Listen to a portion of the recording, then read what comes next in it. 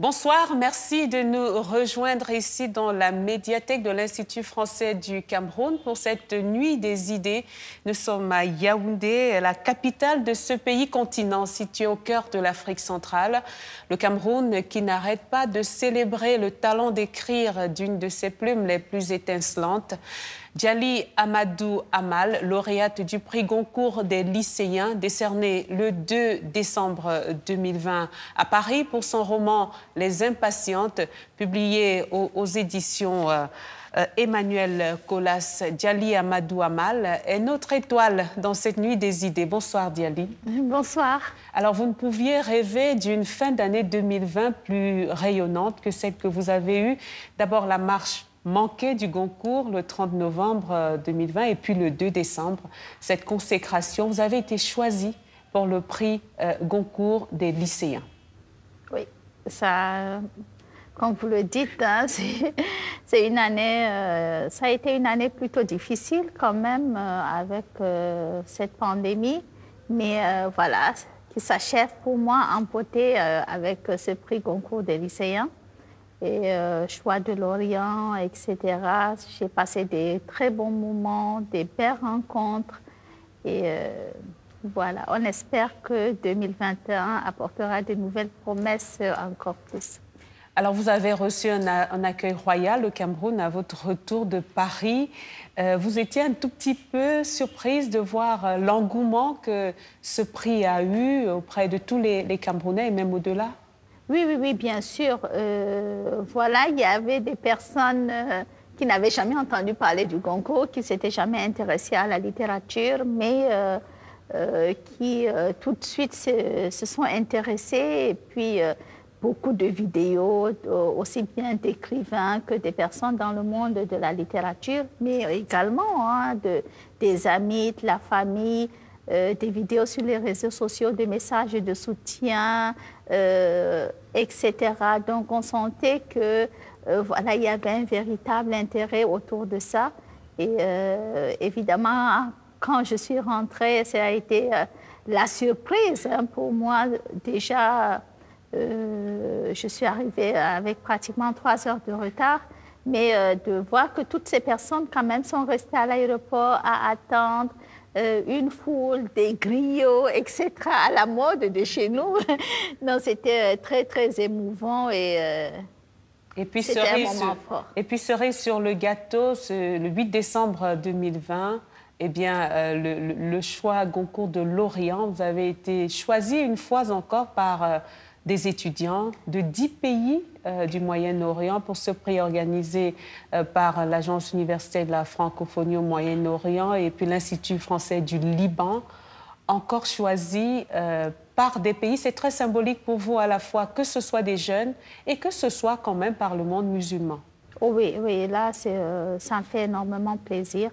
vous savez, à chaque fois quand on parle de sujets, hein, de du roman le fait que l'intrigue se passe quand même dans un milieu musulman. On a tendance à tout ramener euh, sur l'islam ou euh, à, se dire oui, mais euh, ça, je parle plus des commentaires dans le Grand Nord Cameroun, à ramener tout sur le fait que voilà, est-ce que je n'attaque pas quelque part l'islam en parlant, en évoquant ces sujets-là. Mais c'est très important, c'est très symbolique que le choix de l'Orient se porte sur moi parce qu'on a quand même euh, des pays euh, euh, islamiques et et voilà, en réalité, euh, dans ce roman, on parle de la culture, on parle de la condition des femmes, on parle des violences faites aux femmes, qui est quand même un sujet universel. Je rappelle que dans ces pays qui vous ont choisi pour euh, euh, ce prix Goncourt de l'Orient, il y a l'Égypte, il y a l'Iran, il y a l'Irak, il y a la, Jordanie, le Liban, la Palestine, le Soudan, la Syrie.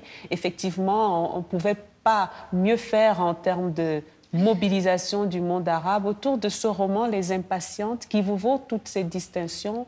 Un roman qui raconte quand même trois destins, trois destins euh, difficiles de trois jeunes femmes et à travers elles, euh, eh bien, tout, euh, toute la violence à laquelle est soumise la femme du Sahel. C'est un thème qui vous tient à cœur depuis que vous avez pris la plume. Bien sûr, on n'a jamais écrit sur le sujet. la condition des femmes dans le Sahel est la même pour tous ces pays. aussi bien au Nord Cameroun qu'au Mali, Sénégal, Burkina Faso, etc. C'est la même condition pour les musulmans comme pour les chrétiennes, euh, pour euh, les autres. Et donc, c'était pour moi très important de mettre le doigt sur ces sujets. Et puis, euh, vous savez, on ne parlera jamais assez de la condition des femmes et des violences faites aux femmes. tant qu'il restera une seule femme, une seule jeune fille encore mariée de force, tant qu'il restera une seule femme battue, euh, qui subit des violences physiques, psychologiques, le viol conjugal, je pense que le sujet ne sera jamais dépassé et qu'il faudra encore et encore que nous le continuions à le marteler, que ça soit tenu aussi par des femmes. Et, euh, c'est très important. Et donc, pour le moment, euh, j'en ai pas terminé d'écrire sur le sujet, je pense. Alors, c'est le destin de Ramla, de Hindou et de Safira, trois jeunes filles à travers lesquelles vous, vous racontez justement ce quotidien des mariages forcés, des violences conjugales, de la polygamie. Et de ce viol conjugal, j'indique que vous êtes né à Marois, dans l'extrême nord du Cameroun, qui est une euh, région euh, musulmane principalement. Euh, comment s'est fait cette prise de parole? On, vous soupçonne de raconter à travers ces jeunes femmes, en fait, votre propre histoire. oui, euh, à chaque fois, évidemment, que j'évoquerai ce sujet de mariage précoce et forcé, de polygamie, euh, etc., ça va toujours se rapporter à moi. J'ai comme la majorité des jeunes filles de ma région subi un mariage précoce à 17 ans, forcée avec un homme qui en avait la cinquantaine. J'en ai évidemment beaucoup souffert et j'ai utilisé euh, ma plume pour pouvoir euh, déjà comme exutoire pour m'en sortir psychologiquement, mais ensuite être suffisamment forte pour devenir la voix de toutes ces femmes qui n'ont pas de voix, pouvoir apporter mon témoignage, mais aussi mon regard sur ma propre société, et sur euh, des traditions auxquelles je suis très attachée, évidemment. mais euh, quand qui aime bien, comme on dit, châtie bien, il, euh, il faut bien qu'on puisse mettre le doigt sur ces problèmes-là pour qu'ils puissent être résolus. Alors, je rappelle, Djali Amal, que vous êtes lauréat du prix Goncourt 2020, euh, le prix Goncourt des lycéens pour votre roman Les Impatientes. Euh, lorsque vous avez pris la plume dans cet environnement que l'on sait, vous avez évoqué les mariages euh, forcés et précoces, les viols, mais c'est aussi pour une catégorie de, de population, les femmes qui ne sont pas instruites, qui ne vont pas à l'école et qui peut-être ne pourront pas lire Les Impatientes. Vous savez, euh, déjà, je me suis engagée en littérature, comme je vous le disais, pour être une voix, une voix suffisamment forte pour pouvoir d'abord, au départ, euh, c'était l'objectif que j'avais d'être suffisamment forte pour pouvoir sauver mes propres filles du mariage précoce et forcé. Mais ensuite, vous l'avez bien dit, les femmes euh, chez nous ne sont pas forcément instruites, elles ne, sont pas, elles ne peuvent pas forcément lire le roman, mais je n'écris pas que pour les femmes dans le Nord Cameroun, j'écris pour le monde entier. Et puis, euh, vous savez, quand on est des victimes, c'est pas à, ces victimes-là d'apporter des solutions, c'est plutôt aux autres, euh, à ceux qui ont un regard externe, de pouvoir, euh, voilà, trouver des solutions pour qu'il n'y ait plus de victimes, justement. Et, et donc, euh, nous avons créé une association. Immédiatement après euh, euh, la, publication de mon premier roman, je me suis posé la question, oui, et concrètement, qu'est-ce que je fais ensuite? J'ai créé une association justement qui vient en aide aux femmes, aux jeunes filles, la scolarisation de la jeune fille, de la petite fille même déjà, avec le parrainage et la prise en charge complète de sa scolarité, des sensibilisations au niveau des collèges et des lycées pour euh, dire aux filles à quel point c'est important pour elles de continuer leurs études, d'avoir des diplômes et comment se prémunir des violences, surtout le mariage précoce et forcé, et puis euh, créer des bibliothèques, apporter des livres dans les milieux euh, voilà, ruraux pour que les enfants puissent avoir accès aux livres et donc avoir accès aux rêves et à un autre avenir. Et donc ça, c'est plutôt du concret. Mais maintenant, pour pouvoir avoir un véritable impact, évidemment, plus les romans que j'écris seront connus, plus on va apporter un véritable plaidoyer, que ce soit au niveau de nos États, des assemblées nationales, que ce soit à l'extérieur, au niveau euh, des, des, euh, des grandes institutions, pour pouvoir trouver une vraie solution.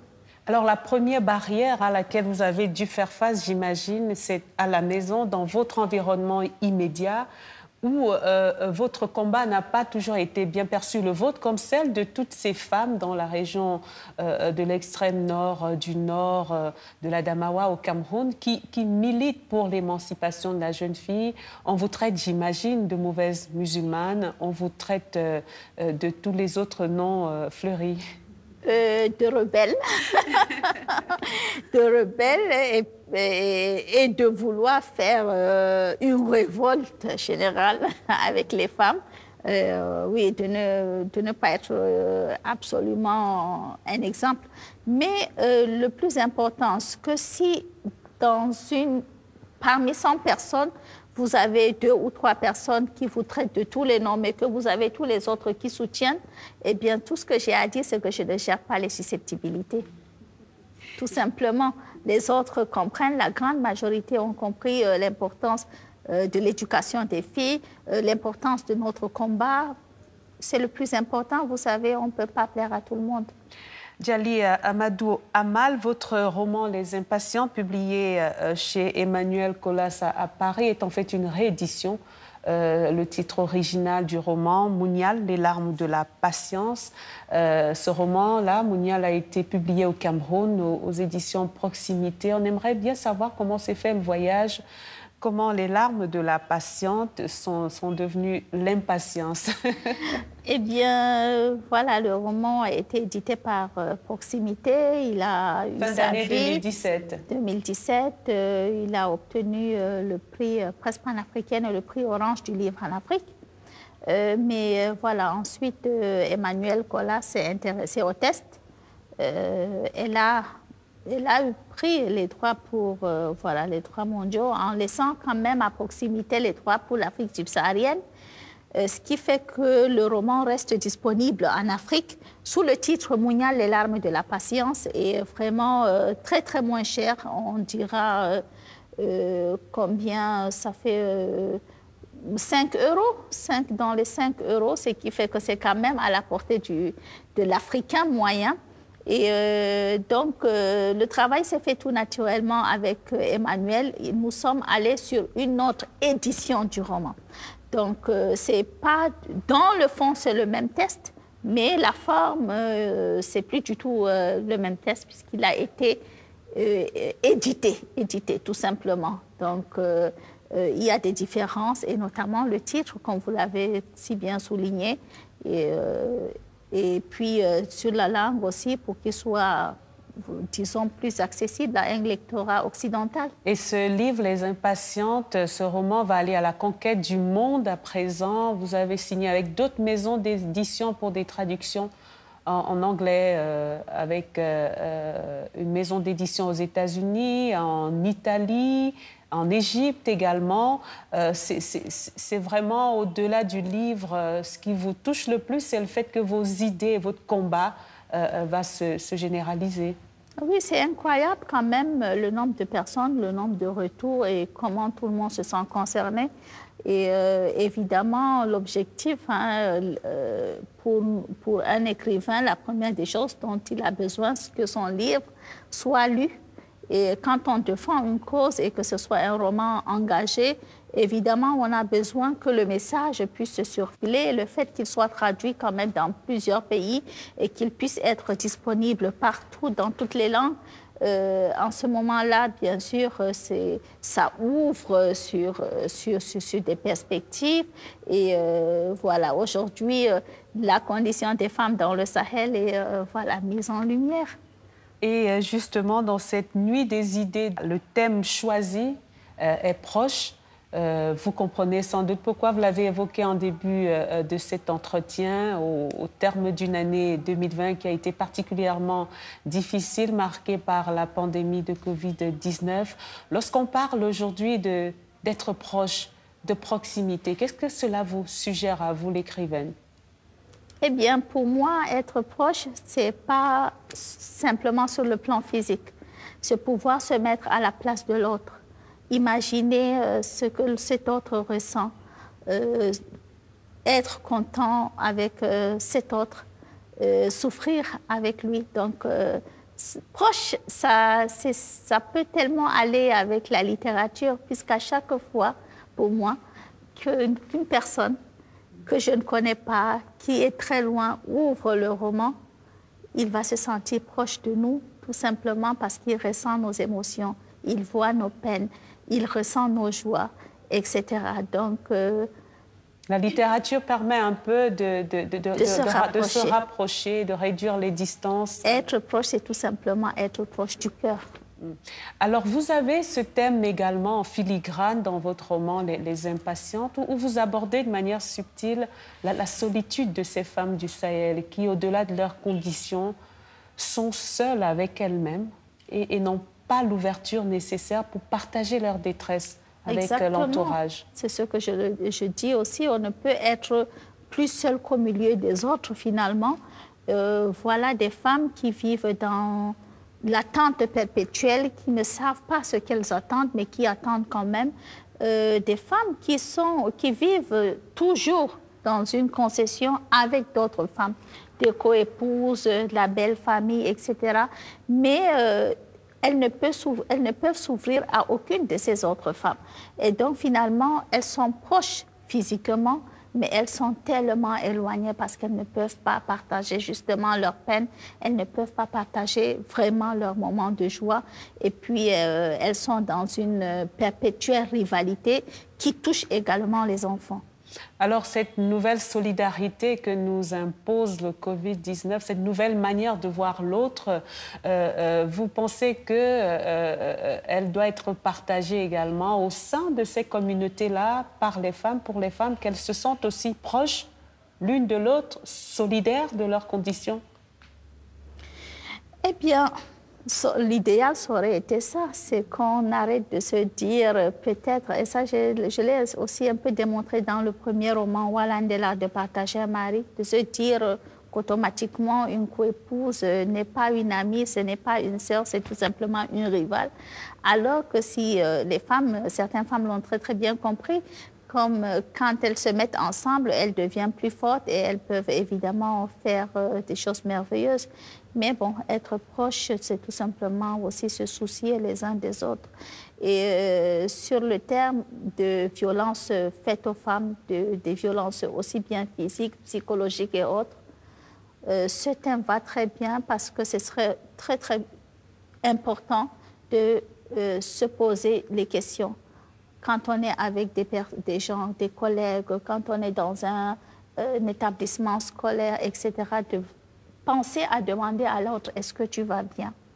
Est-ce que tout se passe bien, etc. Et peut-être faire attention aux petits détails. Quelquefois, ça peut sauver une vie. Ça peut donner à l'autre la possibilité de s'exprimer et de dire sa détresse. Et c'est peut-être ce qui manque le plus dans ce genre de cas. Alors, votre roman, Les, les Impatientes, mais au-delà, votre prix, ce double prix, ce Goncourt des lycéens, ce choix Goncourt de, l'Orient, euh, euh, d'une certaine manière aussi va rendre proche l'Afrique avec le monde. C'est un trait d'union que vous avez comme ça jeté entre deux conditions différentes, deux conditions humaines, deux conditions littéraires. Oui, oui, oui, certainement. Euh, c'est ça la beauté de, l'écriture, la beauté de la littérature et de la culture, tout simplement. La culture nous permet de nous rapprocher, nous permet, voilà, de, de, pouvoir euh, euh, ressentir ce que l'autre vit et de pouvoir partager des choses, de pouvoir partager ses traditions, etc. Donc, oui, c'est une aventure formidable quand même. Alors, on a envie de savoir euh, qu'est-ce qui va suivre après ce, second cours? Vous vous dites, euh, ça y est, j'y suis arrivé, mon message est, passé, il a été entendu aux quatre coins du monde. je peux dormir tranquille. Qu'est-ce qui est prévu dans l'agenda? Eh bien, ce qui, euh, ce qui devrait être normalement prévu, euh, je continue d'écrire, je continuerai bien sûr à parler du livre et à échanger avec d'autres personnes dans d'autres pays, mais surtout, il faut que j'écrive d'autres livres. On n'écrit pas pour gagner des prix, on écrit tout simplement par plaisir déjà personnel et puis pour le plaisir de partager avec l'autre. Et puis, euh, il y a tellement encore à dire sur les femmes du Sahel.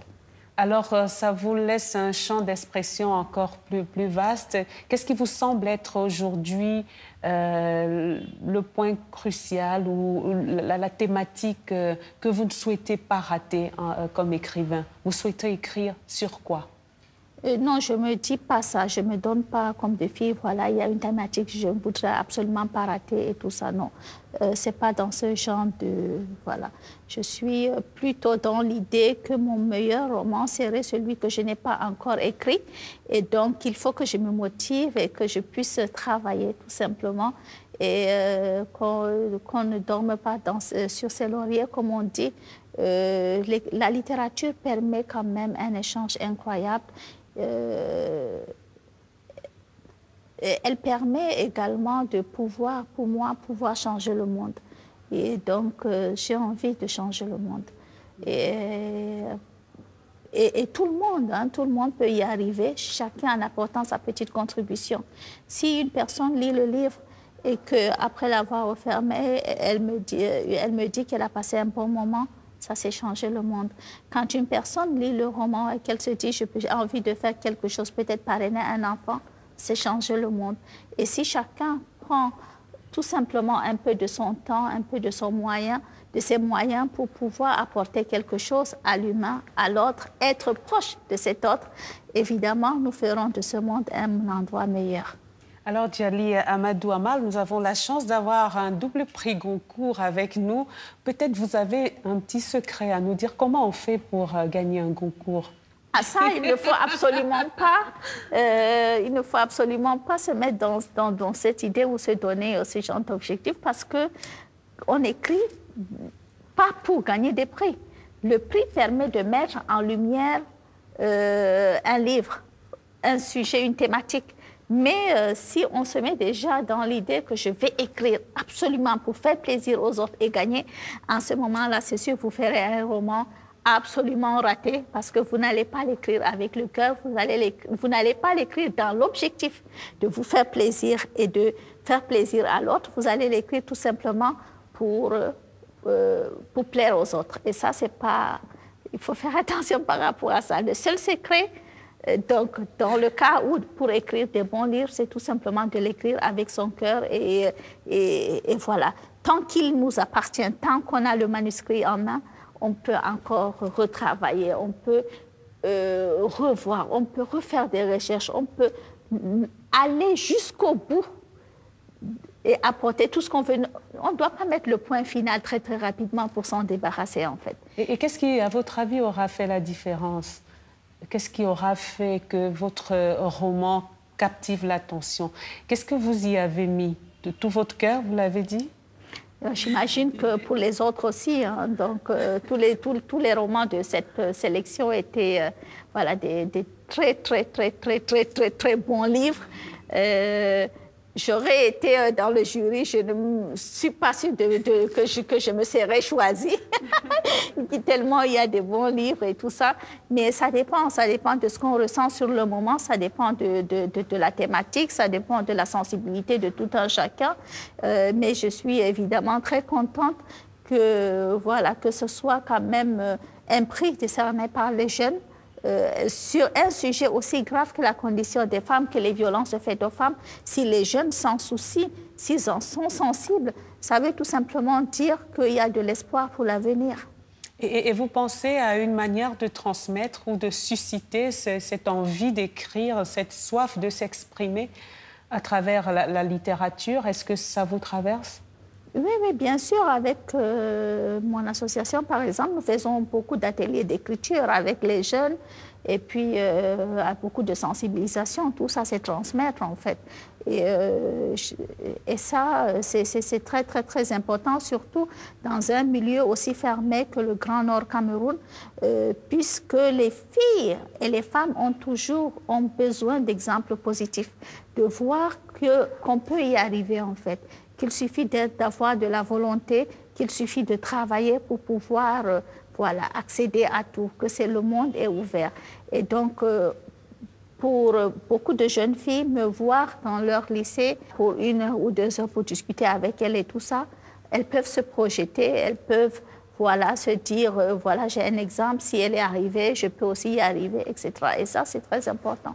Est-ce que vous pensez que ce, ce concours a, changé aussi le regard de ceux qui vous voyaient comme une ennemie, euh, le regard de, euh, de, ces gardiens de la tradition qui euh, euh, estiment que toucher au thème que vous évoquez, c'est un peu s'attaquer à leur manière de faire ancestrale? Est-ce que vous pensez que ce concours a voilà, jeté une lumière un peu sur la manière dont ils voient les choses? Eh bien, je pense que bon, il y a quand même eu un travail de dix ans. Euh, c'est pas qu'avec les romans Les Impatients. En dix ans, on évolue. En dix ans, évidemment, on peut comprendre les choses. Euh, au départ, quand j'ai commencé à écrire, euh, à publier euh, déjà mon premier roman, j'avais eu pas mal de menaces quand même, justement. Et, voilà, mais voilà, c'était le premier. exactement. Et au fur et à mesure que le temps passe, qu'on sensibilise, qu'on s'exprime, qu'on dit les choses telles qu'elles sont, que les gens comprennent, évidemment, ça va de mieux en mieux. le, le, prix permet tout simplement de mettre en lumière permet tout simplement d'être encore plus connu, de pouvoir encore plus discuter des, sujets, euh, des sujets graves, tout simplement. Alors, qu'est-ce que ça vous fait de vous situer dans la lignée des, grandes plumes camerounaises? Avant vous, euh, ce prix euh, Goncourt des lycéens a été euh, décerné à Leonora Miano, mais avant elle et dans d'autres sphères de la littérature, qu'elle soit féminine ou masculine, le Cameroun se distingue quand même dans ce milieu de la littérature. Vous sentez euh, je ne sais pas, particulièrement honoré Vous vous sentez euh, une responsabilité de transmettre aussi ce flambeau? Eh bien, je, ressens bien sûr une fierté, fierté de porter euh, les, les, couleurs de notre drapeau national, de le faire rayonner à l'international. mais je ressens aussi, comment dire, je porte un espoir. Je suis une Camerounaise vivant sur le territoire camerounais, qui a travaillé pendant dix ans au Cameroun, édité dans des maisons d'édition camerounaises. Le roman Les Impatientes, c'est parti quand même du Cameroun et de l'Afrique pour s'exporter, tout simplement. C'est dire aux jeunes que c'est pas toujours le contraire qui est vrai, que c'est possible de faire un bon travail à partir de chez nous. Vous savez, pendant longtemps, quand les écrivains, les écrivains vivant en Afrique publiant en Afrique étaient considérés comme des écrivains de seconde zone, tout simplement. C'est-à-dire que dans les salons, même africains, ils n'avaient pas, pratiquement pas de visibilité, pratiquement pas de place. C'est comme si le message qu'on pouvait leur dire, c'est que pour réussir dans, ce, dans, dans, la littérature, il fallait absolument partir. Il faut s'expatrier. Voilà, il faut s'expatrier, il faut partir, il faut publier ailleurs. Et donc, je suis la preuve qu'en réalité, c'est pas si vrai que ça on peut rester chez nous, travailler de chez nous, mais avoir quand même euh, une visibilité à l'international. Et donc, euh, ça, c'est ce prix-là. Ça prouve aux jeunes ce que je leur dis toujours, et c'est l'espoir tout simplement. Ils savent aujourd'hui euh, qu'ils peuvent continuer à travailler, qu'ils n'ont pas forcément besoin d'envoyer les manuscrits en Europe et se dire à tout prix, à tout prix, il faut que j'y aille, il faut que je... voilà. Ils savent aujourd'hui que du Cameroun, de l'Afrique. On peut continuer à travailler, on peut lire, on peut s'informer, euh, faire des ateliers, euh, être rigoureux, faire un bon travail. Et puis, c'est la même chose aussi pour les, bibliothèques et autres. Il faut bien qu'on mette en lumière les livres qui sont produits chez nous quand même. Donc, euh, c'est très, très important et ça donne, voilà, ça valorise quand même les écrivains vivant au terroir et qui font quelquefois des très, très, très, très, très bons romans. Et, donc, euh, voilà, pour moi, c'est ce message-là aussi qui est très important à faire passer aux jeunes écrivains. Tchali Amadou Amal, merci. Vous êtes l'étoile du Cameroun euh, en, littérature avec ce prix euh, Goncourt des lycéens que vous avez remporté en décembre 2020 et vous avez illuminé cette nuit des idées à travers ce, bel échange. Je vous remercie et je vous souhaite une très belle carrière. Merci beaucoup pour tout. Et puis, je suis très contente d'avoir participé à cette belle nuit des idées et euh, qui me donne d'ailleurs des idées. et c'est l'Institut français du Cameroun, évidemment, qui a rendu tout cela possible. Merci à vous et à bientôt.